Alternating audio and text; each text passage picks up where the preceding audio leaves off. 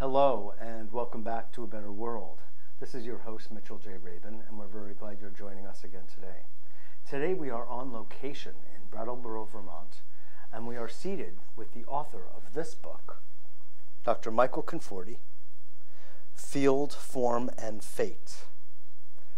This is a very interesting book, and Dr. Conforti is a very special man. He's a Jungian analyst. He used to be very deeply involved in psychodrama, actually, through which we met many years ago. And he is the founder and director of the Assisi conferences and seminars, which take place in Assisi, Italy, as well as in Vermont and other locations across the world at this point. Michael has been a pioneer in Jungian analysis and expanding that form to include many other different forms of inquiry and has been really innovative in bringing different levels of thought and consideration to understanding the human psyche and how to not just theoretically but practically work with people so they can move along their own spiritual and psychological pathways. So we're very glad to have Michael on the show today. A lot of his work dovetails so beautifully with what we do on A Better World in helping people expand their consciousness, transform it, and understand as consciously as possible what their lives are about, their sense of purpose, direction, belonging, and meaning. So, Michael. Thank you, Mitchell, very much. So great to have you. Great to be here. It's been a long time in the making, huh? Yes. But finally, we're so glad to have you. So, first of all, how is it? What was that initial inkling in you that had you know, actually at this point, long ago, that you wanted to go into this field of psychology? I think the first thing was I worked at a state hospital in New York, Willowbrook State Hospital. That's the one mm. Geraldo Rivera did the expose on oh, back in the yes. 70s. And I went there, and these student, students, these uh, patients were yeah. in very bad shape. They were there for 20, 30 years. And there was this one little boy would go out every day. And that recess, he'd go out to the flower gardens and get the flowers, and he would literally make a crown to put on mm. his head. And there was a sense of joy this kid had. I mean, in this dismal life, these kids, I mean, it was just abysmal what happened there. But in that one 15, 20 minute time period, he put this thing on, he was transported to another domain. And I thought, you know, if I could only find someone to understand mm. what was happening for him, what, was it some symbolic attachment? Not that he was thinking about it, but there was something that he was, trans- or another domain he was transported to. And I never forgot that. Mm. And it made such an imprint on you that 40 years ago, the curiosity of the psyche became so utmost. Yeah. And then you went and you studied psychodrama, as I had mentioned, and Jungian thought, and then you graduated from the New York Jung Institute, Mhm. and you went on to be in practice privately up here in Vermont. Over 25 years worth, yeah. That's right. And then you began the Assisi seminars. Now, what was it that drove you to, to do that? What, I mean, you get a very full education being a Jungian. You know, he's one of the wider, greater, more expansive thinkers of all. Was there something that you were not getting from that? I could tell you the story. Okay. I part of the training you're in supervision groups at the Institute in New York, and I, I had a great training. I I adore what happened to me at the training. I had very good teachers and colleagues and all, so it was a wonderful time. But I, I remember as we used to be in class talking about our cases, it seemed to be that whatever we talked about, the problems with our patients, whatever, it described more about the candidate than about the patient. And I'd be there scratching my head saying, my God. The Jungian student. The, the trainees. Yeah, the trainees. And myself included. Right. My God, you're that, you're like that, or you're like that. And there was one case in Mirrors facing each other. it was just, it was comical, and I was just, you know, perplexed by this. Is this just selective uh, presentation of cases or whatever? And then the, the most dramatic one was somebody presented a case uh, where a patient had a dream, where the therapist was speaking in Latin and Greek and, and, and all this. Not you can even speak this. And uh, the patient, after the dream, he said, you know, you seem to me to be as uh, authentic as a Hallmark greeting card. And the, and the student therapist said, the patient's trying to destroy me, they're envious of me, they, they, I know about the language of the gods and archetypes and all, and they just can't take it because they don't have much of a life there themselves. So the senior analyst said, I think you're right. This is clearly a case of uh, attacking you. And, and, uh, and I, you know, here I am. I'm a kid from Brooklyn. I was, I was 26, 27 years old. I said, you know what? I think the patient's right. You are as authentic it's a Hallmark greeting card. And I think he was speaking Latin and Greek, and not that he even speak Latin. You know, yeah. they didn't have the ability to speak these languages anyway. I said, even if you could do it, the patient wouldn't understand it. So what good is it? I think the patient's got your number. and everybody in the class turned and said, oh, here we go. The Sicilian is a little angry and starting trouble. By the end of that class, the senior analyst said, my God, I think you're right, Michael. Because if you're speaking a language that the patient can't understand, what good is it? Whose narcissism is it? And I, so I went back to one of my supervisors, uh, a man I have deep regard for, Dr. Kaufman. I said, Dr. Kaufman, what's happening here? I mean, I, it seems like the patients are saying things about the analyst that's accurate, and no one ever talks about this. He said, You have to meet this man, Robert Langs. And I called him up. And uh, I didn't know anything. The famous Robert Langs. The famous Robert is. Langs. And thank God I, I didn't know anything. graduate students in psychology, right, you didn't know anything about anyone I, would study, actually. I think the book Fear and Trembling was really built, was really written in response to being with Langs back then. This is in the 80s, you know. And uh, it was a profound experience. He said, first, uh, who are you? I said, I'm a Jungian analyst. He said, well, you don't want to work with me anyway. Jungians don't like me. The Freudians don't like me. And he said, they, they have trouble with my work. And I said, well, what is it? He said, patients understand the truth about the therapist's psyche. I said, I got to work with you. Mm. That was the beginning. So, you know, I Jung see. understood, uh, I think Jung understood the, the innermost workings of the human psyche better than anybody he didn't capture the interactional piece. Mm. And that was the beginning for me. And I said, you know, these, these pieces of work are so closely aligned, um, but it wasn't brought into my training, so I had to go out of the institute. And That's it was a very, very difficult time period. Yeah. I mean, I didn't know why I was doing it. You know, when you're caught in the, in the throes of a creative process, I mean, now I can say it was creative. It, it was quite agonizing. I felt totally polarized. Sure. Because you got the Jungian on this side, you got the, the Langsy, which is really very psychoanalytic on this side. I didn't know where I stood. It's so interesting for people who are not in the field, um, but standing outside and maybe have gone to a therapist here and there, or even a Jungian here or there, or Freudian, don't have any real idea of the intricacies oh. of relationship, the details involved, and the politics involved. Yeah. And it's uh, it's rather rather remarkable what really goes on and the internal workings of it. And it actually gives us a little bit of pause. Like, if these guys can't get along, then how is the rest of the world going to get along, you know? I'd like to move, Michael, into uh, another domain um, because your work has taken so many quantum leaps forward in so many ways. And what you've done in this book by bringing forth the idea that essentially the quantum physical idea of fields mm -hmm. into the uh, into the clinical setting.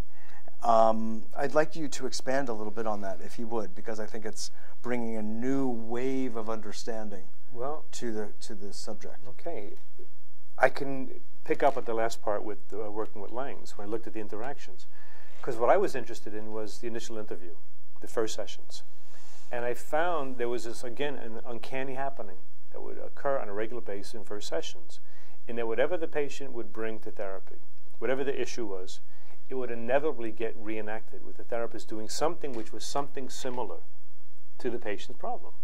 Now, people that had uh, had been traumatized by incest, there were inevitably boundary problems that came up between patient therapists. People like, what would that be like, a boundary well, problem? Uh, they may say to the therapist, would you sit closer to me? Would you hug me after the sessions? Would you give me your home number in case I have a really rough time? Could you give me extra sessions? And, and these are things therapists don't think about as being what I would now call field phenomena, field-generated uh, interactions. So anyway, I began to see that when somebody would come to therapy, there was something else already at work. I mean, we look at the patient comes to a therapist and they begin talking, and the therapist helps them with the issue. I said, no, there was something else at work. There was something that was really designing interactive dynamics in which the patient was already embedded.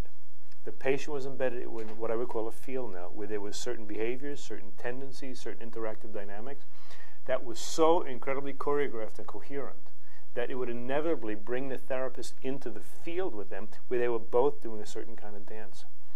So here we find patient therapists enacting a dance where there was some version, I don't mean literal incest or whatever, but there's mm-hmm. some version of it. Or somebody who's been orphaned, it's inevitable that therapy would, would have components of it where the therapist would clearly abandon. And there are uncanny cases we could talk about in this interview where that, this stuff happened. You mean that the the patient would set up a situation in which he would feel you see, that's feel it's abandoned? Not, no, it's this is how it's even above and beyond the patient. What I'm saying is everybody is embedded in the field, mm-hmm. much in the way we talk about astrological constellations. Mm-hmm. You can't say the patient set up the constellation. When you look at somebody's behavior and say, my God, it, that really seems to capture the constellation of a Sagittarian or uh, whatever it might be, mm-hmm. Cancer, or whatever. Mm-hmm. It's the same as these fields. So it's, it's so transpersonal. Say somebody who's been orphaned, they don't go about con- consciously or even unconsciously trying to recreate these dynamics. They are literally embedded in a field, such a highly choreographed and patterned field that they're just living out of it. They're living out of it, and they're possessed okay. by this. And that's when I said, "My God, what is it that has a capacity to shape experiences like this?" And I began what has now been you know, over a 20-year study of looking at everything from embryology to mathematics to dynamical systems mm. to particle physics to see. Mm. And my question was, what is it has a capacity to reconfigure matter? And what's the best answer? What we see, and I've been working with, with some of the leading figures in the world in, mm-hmm. in these different fields. Mm-hmm. Fields, and you know, you play the Mr. Wizard game with the magnet and iron filings. Yes. You know, you put a magnet under here and iron filings on a table, and they align. And they align to something. And you know what? It's not so different it's not so different in human interactions. Sure. Where sure. you begin to literally see interactions in one's life responding to the prompts of some archetype and some field. So it's really field generated interactions. So it began with Langs, and now I see by working with people from these other disciplines that understand the nature of fields. It's, it's such more of a profound set of dynamics. But underlying any field, Michael, has to be some governing idea. Mm-hmm. Ultimately, there is some kind of thought that has an electricity to it, by the way, yeah. a bioelectricity, yeah. if you will, or an idea that creates that alignment, yeah. whether it's in a field or in, in, a human body. And it's better to understand a human body as a field anyway, because that's really what it is. It might be the cross sections of several fields or planes, if you will. You know, Mitch, I, have been reading a lot of Elie Wiesel's work lately, and and I'm just so captivated by his experiences and how, how, he tried to metabolize it. And the way he talks about many of the, even the survivors that after liberation, they mm. committed suicide. How can you understand it? That there was something so, oh God, they're just so powerful about the experience that took over their life. Now, can you say it's, it's, it's simply their trauma, it's their sadness, it's their misery that would keep them in the field where inevitably the drama of horror and, and, annihilation is enacted every day. How many of these people, their lives, his book, The Accident, is a perfect illustration of this, of a field theory, uh-huh. where the life of this person, and so many people have been through traumas, of course, no traumas like the camps or like what goes on in Rwanda, I, I right. realize that. But people that have been through these severe traumas, their life rotates around this series of dynamics and it goes on and on and on for 50 or 60 years mm. and you're never going to tell me it's because of learned it's not a learning theory it's not a developmental theory because i don't think any of those theories could really explain how it is we draw to us situations that uh, repeat a lot of my work is looking at reiterative dramas or iterations yes. there's something that as you said galvanizes an event there's a pivot it's an archetype as we were talking about the other day, yes, it's an archetype. And an archetype ultimately is an idea. It's an image. Mm-hmm. It's an idea. I mean, there are people doing work with the language of the human mind. And the language doesn't seem to be a linguistic language, right. but an imagistic language. So that's, as Jung talked about the archetype as an inherited image, could you expand on that I, I, think it goes beyond even image because it, there are so many examples now from the new sciences that talk about an innate order, which is inherent in, in systems. Mm-hmm. I mean, the work, some of the work you know of Hans Jenny in cymatics.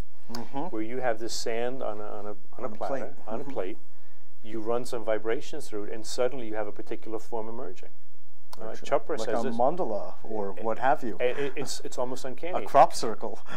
Well, what you begin Yeah. to find is these designs are inherent and they will respond to a certain kind of harmonic prompt. right. So it's more than an idea. See, I'm going even further with this and I'm saying more than an idea, archetypes have a certain physical reality. Complexes have a certain physicality to them. And you begin to see. Oh, yes. the way they shape even emotions of a person. They shape the interactions. They shape the configurations that design between people. When you're in a complex, excuse me, but your body changes. Your face changes. At times the eyes begin to change color a little bit. It's a type of possession. And this is why I'm saying it goes above and beyond the idea. It's platonic in the sense of there's an idea that's primary. And I am the first to talk about with Jung and agree Right. 100%, about the primacy of the archetype, but it goes even further. Well, I understand, and this is one of the beauties of the name of the Assisi conferences, really. Mm. Thank you. Which is uh, matter and spirit in the psychotherapeutic context. At least that's what it began when I right. taught there 18 years ago, right? And is it still that? I mean, you're always looking at the relationship of spirit into matter, if you will. Is that is We're that looking at the confluence, the confluence the of psyche confluence, and right. matter. And in many ways, you're looking at matter as incarnation. Well, this I was just going to write on that, Michael, to say that in my worldview, there isn't anything that doesn't have a physical correlate. Exactly. I mean, but nothing. And if you really want to go back in time, the Taoists say the same thing from ancient China literally 5,000 years ago that all spirit is represented in matter. And in fact, what is spirit other than materialized intelligence? I just picked up a very old alchemical text. Therefore, you couldn't possibly have an archetypal image that doesn't have a physiological correlate. You see, exactly. And this is where all the great people, from in the Bible, the Word made flesh. Yes, exactly. You have Jung, archetype and symbol. You have Ervin Laszlo talking about the psi field and matter. You've got Sheldrake talking about morphogenetic, fields Mm-hmm. And fields. form. Very true. You know, and uh, Hello? Are people getting it? David Bohm's his Yeah. entire work is on the explicate. You got the implicate order, which expresses itself, through explication. right. Now you It's a theme that continues to repeat in ancient times through various religious or spiritual contexts, as well as psychological, as well as in physics. Yes, and I'll tell you how far it goes in terms of clinical work, whether, whether clinical or our work as parents or as colleagues or Yeah. uh, consultants. Take the world of pathology. Now, I taught pathology in graduate programs, master's, doctoral programs, analytic institutes, and I'm pretty good at it. I Mm-hmm. could diagnose and make a prognosis and the DSM 4 or whatever it is today. And I realized it's. Don't tell me all of my problems at once. I realized basically the whole notion of pathology is useless. Now, it may sound oh, heretical. I'll tell you why, though. When you look well, and say that's being pathological, heretical isn't nothing new to you. and this is your TV show, yeah. but when you say it's pathological, you're saying this behavior really deviates from a norm. It doesn't fit our, our normative model. expectations, etc. Now, you know how where we go with this. You take any behavior, no matter how perverse or bizarre it may seem, it's got history. It's been expressed somewhere. I mean, take examples of, of piercing, body piercings, and, and Tattooing, tattooing, what have you. or when they do the, the piercings of breasts and all that. And people can say, well, it, analytic interpretations. It's self hatred. It's the the Masochism. masochism, and all this. Well, you know, they're all clever and interesting and partially right. Mm-hmm. You know why Einstein said it best? He said, "It's not that our answers are wrong." He said, "Our questions aren't big enough." Mm, Wow. yeah. And the other person that gave us a clue to this is de Chardin, when he said, "Matter is spirit moving slowly enough to be seen." Is that beautiful? Oh, wow. So then you take a piece of Yeah. behavior, like the uh, piercing. piercings and all, and we ask a different question. We say, okay, it may not be really generative in the individual's life, but what is it? What, what can I know about that behavior from history? You see where, where I'm going with it? Mhm. That you begin to see that this archetypal field has suddenly taken over somebody and drew you, have drawn you into a field. Remember the movie Richard Harris in the 70s, A Man Called Horse? With the, it was a sun bear the sun bear ritual, when they take the bear Mm-hmm. Sundance. Sundance, thank you. This, where they take the bear claws Mm-hmm. as part of the initiation to make this man worthy to be married to the. Uh, Initiation, yeah, this is an ancient rite. Definitely. Now, not that kids understand this today. I mean, you look at uh, suspension practices and all this, and people are literally being suspended by hooks and all this, and, and you realize, my God, this is an archetype that's been there almost in the beginning of time, now coming full force, taking over the individual. When people enact it, they don't get it, whether in the sexual domain or any type of possession. They don't understand it. And it takes somebody to begin to help you articulate the pattern. What you're saying is that there are historical antecedents to all of these things that we might have otherwise called in the pathological model Exactly. bizarre, perverse, extreme, pathological, Yeah. etc.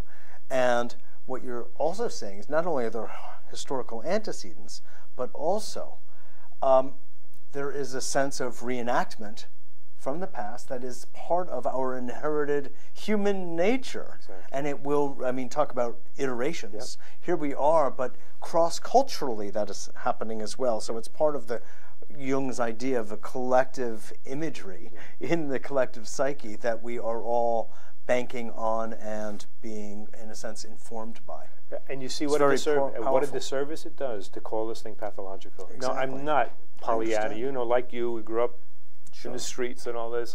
And I, see reality for what Yeah. it is. Oh, But. I understand that there's something with potential meaning in these activities. If just someone would give Oh, a key and say, you know what, this behavior has a certain oh, purpose in it.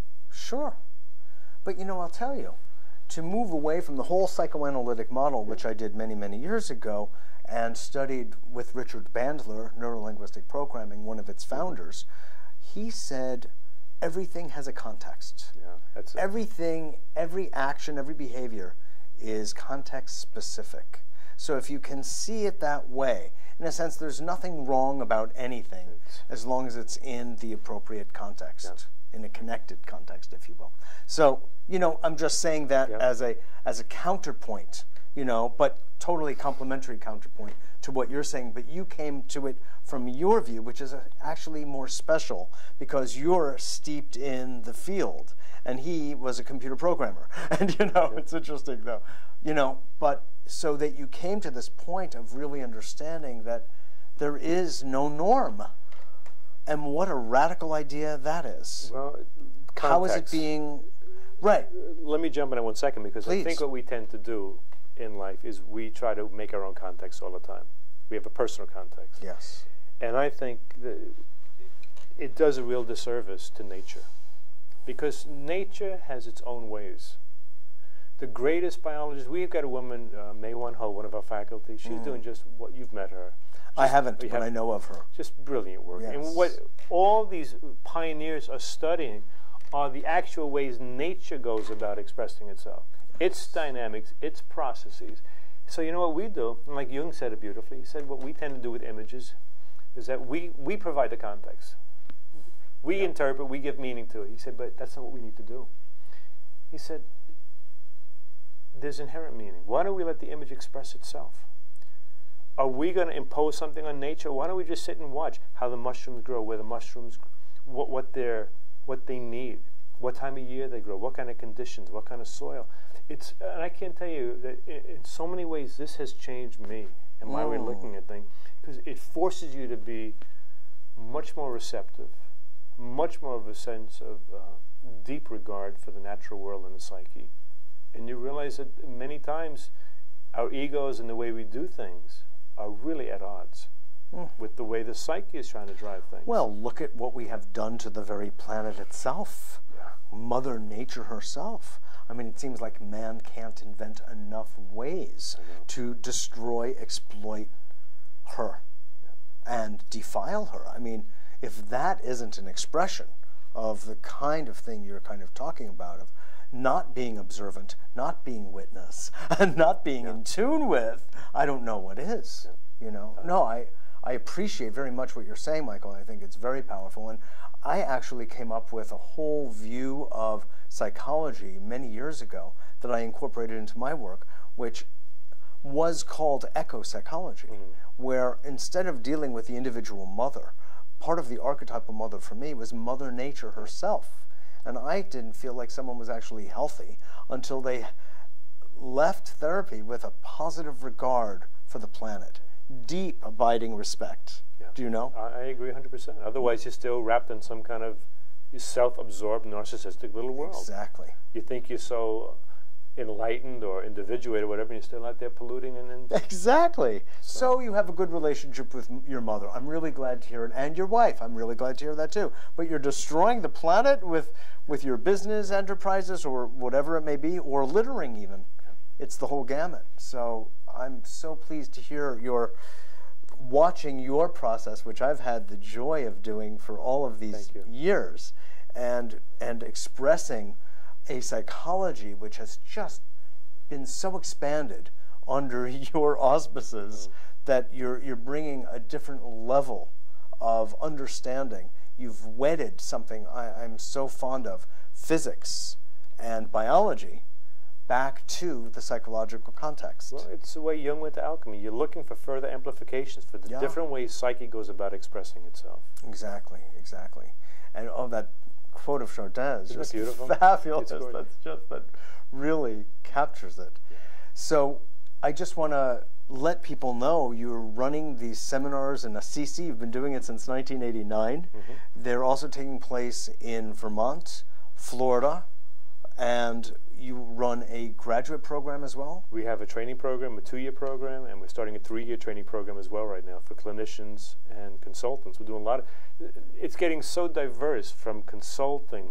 We had more time to work with taking this into the cinema, working with people in Hollywood right now. Oh, but yeah, we have seminars, fabulous. we've got training programs. Um, Wonderful. Well, I just want to thank you from the bottom of my heart oh. for the pioneering work. You know, you've just had courage and you've not said no to anyone. You've just followed your heart. And that to me is an example for everybody to, to witness. Okay, if I say so, no, we don't uh, have to stop?